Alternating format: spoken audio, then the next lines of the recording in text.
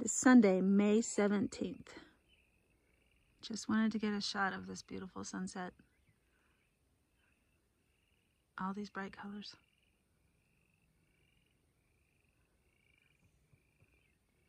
Can hear the frogs croaking. I hope that gets on here.